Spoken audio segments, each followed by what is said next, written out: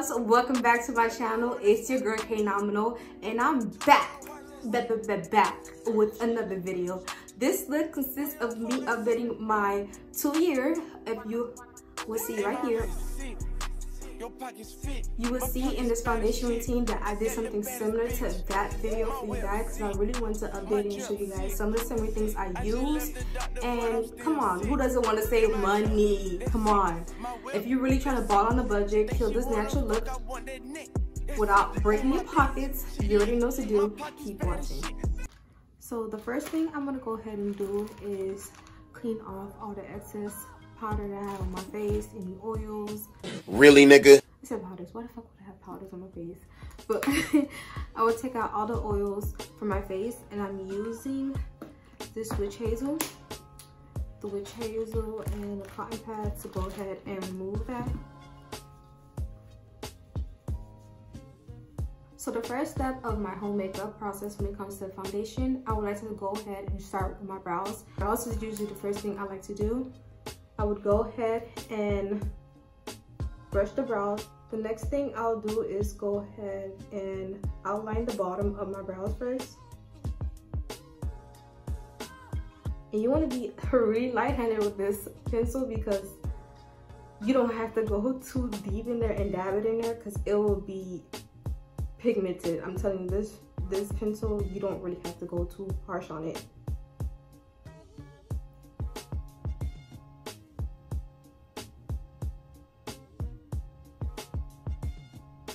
Okay, so for the brows, what I'm now going to go ahead and do is take LA Girl Concealer.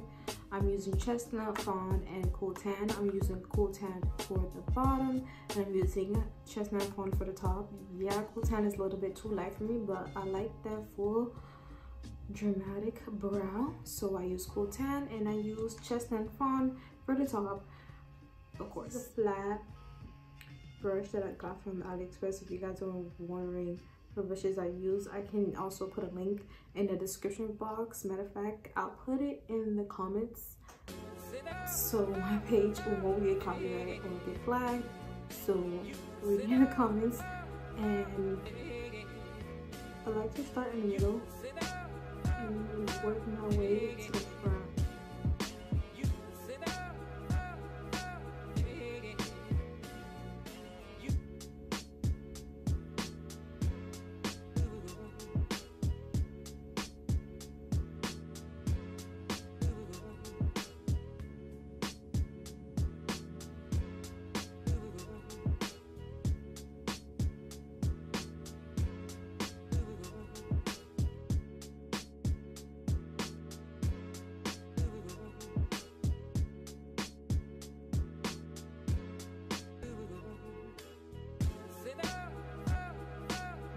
This Real Technique Expert Blending Brush. I'm.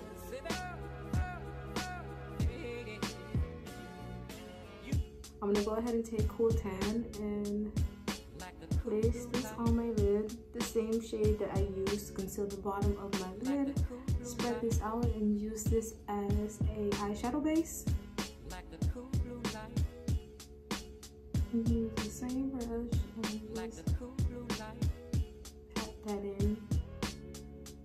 I like to go ahead and set my lid, especially under my brows, just so nothing moves throughout the day. And if I just don't want to wear any eyeshadow, I can go ahead and leave it as that. Or maybe slap on like a contour shade on top.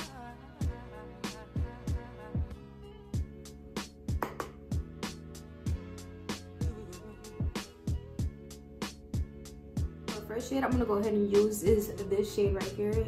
I'm um, not gonna pronounce it because I'm not gonna go ahead and mispronounce it. So it's like a really dark brown plum shade and I'm dipping it into this brush right here. This is a flared out blending brush. These brushes don't have any names. They're from AliExpress. Like I said, I'll be sure to list them down in the comments. So if you're looking to save some coins, you're not only for no Mac, no Morphe. I got these. I got these in a package, so I'm looking up the uses. Gonna go ahead and just start packing this into my crease and only mainly focus this on the outer part of my eyes just so I can get that part of my eye to have that definition. I don't want the whole eyes to have it. So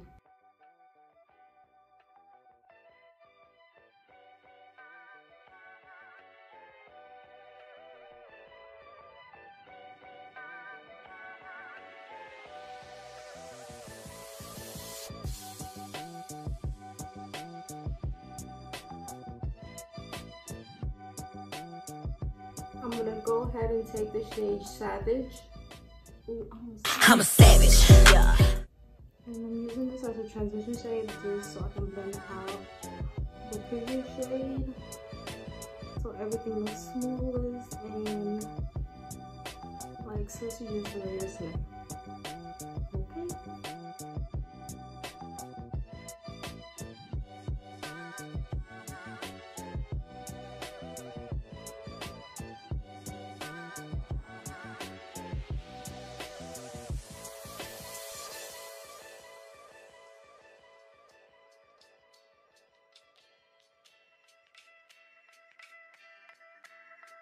For the last shade, I'm gonna go ahead and take the OG. This last shade, it's like a newish brown shade.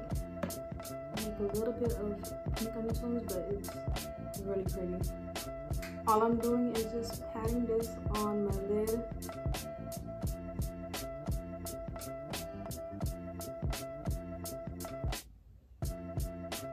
And blending it towards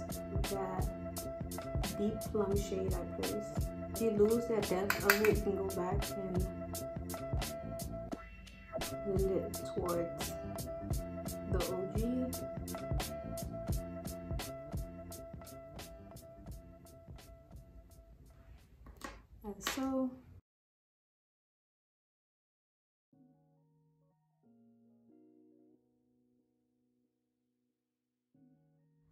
So back to the face, what I like to do is take my chamomile lotion.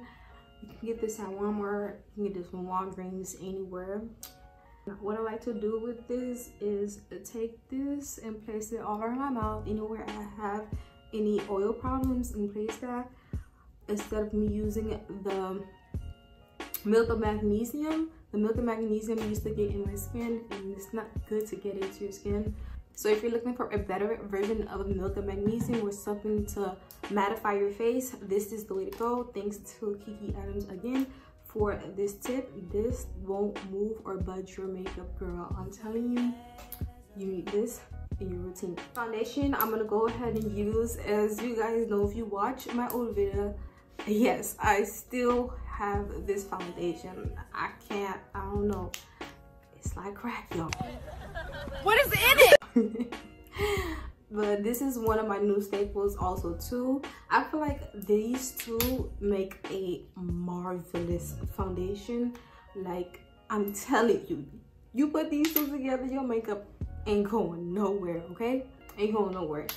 But this is new but if you know me already i've been using this. Go back to my old video like i said still an OG. I use this for the bottom and then I use this for more of the inner and top of my face. And I'll blend out this shade first, then work my way in. Y'all, do y'all see this?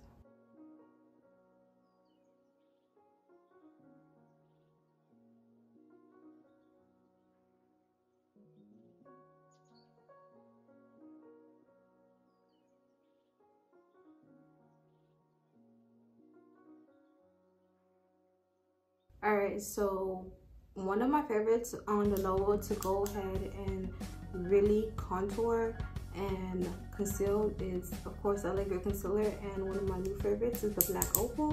When it comes to l'oreal this is something new to my regimen because that's what i find about with the l'oreal. It really acts as a lid girl but it's not too heavy under the eyes. First thing i like to do is just go ahead and apply the concealer shade under my eyes, my nose, my cupid's bow, my forehead. Just to brighten this up a little bit more, cool tan.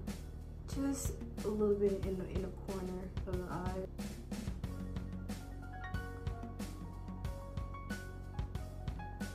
I contour my forehead just a little bit.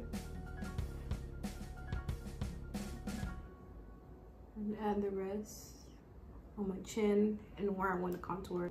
So the first thing I like to do is go back into my foundation brush and blend out the edges of my concealer just because I feel like it gives that more of a flawless finish once you're finished concealing and blending out your concealer rather than just going straight in there. And I will do that literally for all of my concealer shades. I'm gonna just go ahead and start from the bottom of my concealer. The same way I work my way up with the foundation brush and I'll work my way in towards the eye.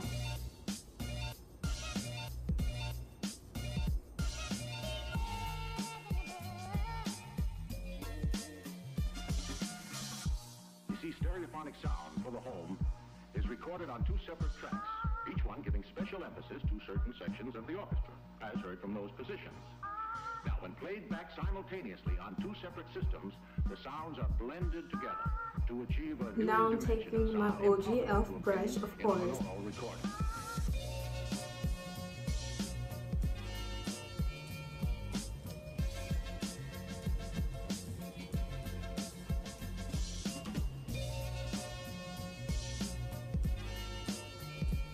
Once you have everything blended in, I like to go ahead and just go back and touch in with the foundation brush. I'm telling you, going back in with your foundation brush is the key because it gets everything to blend in.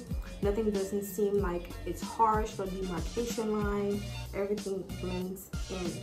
Jumping right back into the Sacha Buttercup, I'm gonna go ahead and grab some, tap some off. Literally, I'm gonna go lightly pat under my eyes. I'm not baking, but this is kind of sort of baking, but not really baking. I'm really just patting this into my skin. I feel like this gives me the best, uh, the best finish because I'm not letting that powder sit under my eyes just so it can be dry. It'll pick up under faster because the more product you put on your face, the more product you're building up. And I want to use the least amount of product on my face just so I can get a really flawless finish and still of a skin-like finish. So that's another tip I can give out.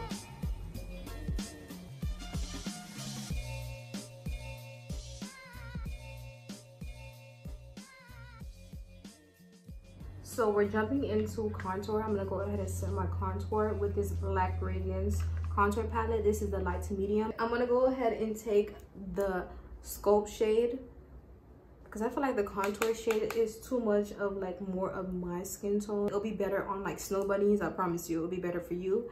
But this is something I don't really use. And I'll just pat this towards my contour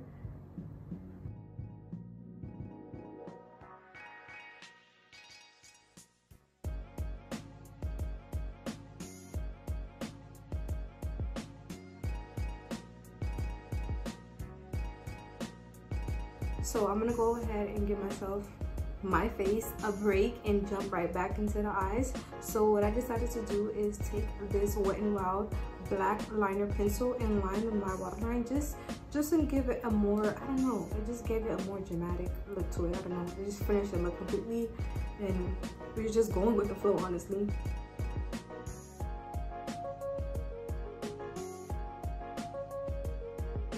I'm gonna go back into the palette and take the shade Savage mainly, and I'm gonna place this in the inner corner of that lower lash line and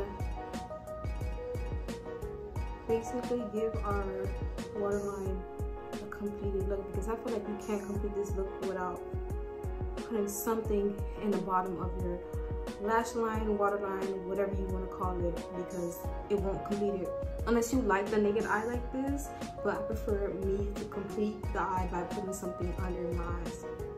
Using the same brush, I'm using that dark brown tone shade just to deepen out the outer part of my eyes.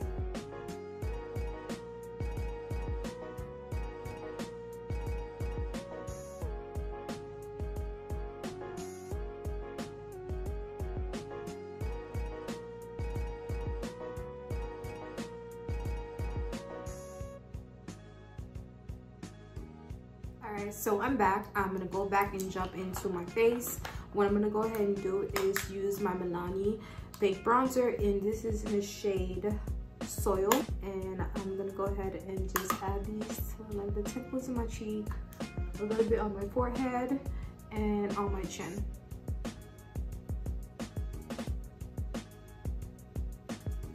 When it comes to the second thing of our face, second to last thing to our face, I'm going ahead and set this. The Master Chrome Maybelline highlighter. This is Molten Gold. And if you know me, this is, I can't help it. It's really an OG for me. I love it. It gives more of a melty dewy finish honestly i i have no problem with this highlighter whenever whenever i use it So on to lips, I have choices. I'm gonna just keep it simple and nudish. I have different options. Honestly, I'm just gonna go ahead and outline my lips with a wet and wild brown lip pencil and this two right here. These are new to my collection. This is the Black Radiance Perfect Tone Matte Lip Cream. These shades are, give me one second, Go Nude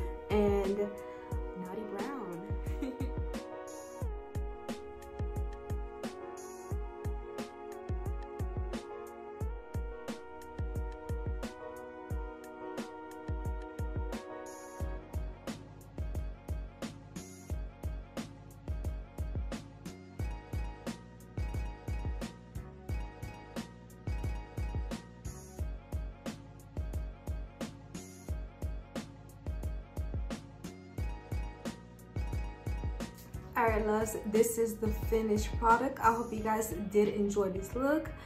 I really did kill this look i'm have to say because all of this under i know for sure a hundred dollars and it came out wonderful. So if you're wondering how to get a cheap 100 percent full effect foundation routine. This is your look for you. This is natural. You can do whatever you want to to add it up. These products you can find at walmart walgreens literally at family dollar dollar tree. Hope you guys do check out the products that i list down in the description box and the link i will put in the comments for you guys who are wondering about the brushes i use. If you did enjoy this look don't forget to like comment subscribe. And don't forget to click the subscribe button and hit the bell notification